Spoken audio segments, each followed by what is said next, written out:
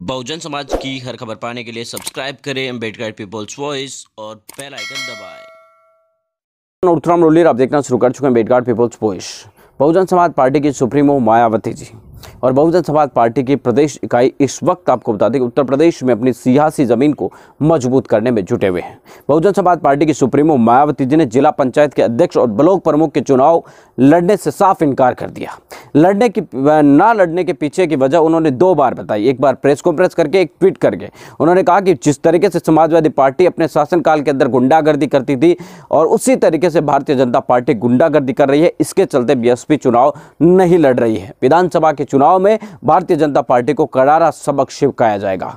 दरअसल आपको बता दें कि बहुजन समाज पार्टी की सुप्रीमो मायावती जी ने कहा कि वो इन तरीके के चुनाव के अंदर अपना टाइम वेस्ट नहीं करना चाहती और तमाम आपको बता दें कि एक तरीके से देखने की कोशिश करें तो 2022 के विधानसभा चुनाव पर उनका फोकस रहेगा। बहुजन समाज पार्टी की सुप्रीमो मायावती जी जहाँ अपने पार्टी कार्यालय लखनऊ के अंदर लगातार अलग अलग समाज के लोगों से मुलाकात कर रही है, उनसे बातचीत करके आगे बढ़ने की कोशिश कर रही है। वहीं आपको बता दें कि बहुजन समाज पार्टी के प्रदेश अध्यक्ष भीम राजभर मुनकाद अली सहित कई सारे जो नेता है, वो अलग अलग जिला के विधानसभा क्षेत्रों के अंदर आपको बता दें कि रैली पर जो एक तरीके से कार्यक्रम है, वो लगातार कर रहे हैं। और इसके चलते बहुजन समाज पार्टी की तरफ़ से काफ़ी तेज़ी से सक्रियता देखने को मिली है। भीम राजभर भी आपको बता दें कि प्रतिदिन एक से दो रैलियों का है, वो आयोजन कर रहे हैं। अलग अलग जगहों पर उनके कार्यक्रम में काफ़ी अच्छी खासी भीड़ उमड़ भी रही है। हम आपको बताने की कोशिश करें तो बहुजन समाज पार्टी का पहला मकसद यही है कि संगठन को मज़बूत किया जाए, संगठन को आपको बता दें कि बूथ स्तर तक पहुँचाया जाए। अगर संगठन बहुत, बूथ स्तर तक मज़बूत होगा तो फिर बहुजन समाज पार्टी का वोटर अपने आप उनके पास खींचा चलाएगा। और आपको बता दें कि अपने खास तौर से कैडर वोट बैंक को बीएसपी बचाने की पूरी कोशिश में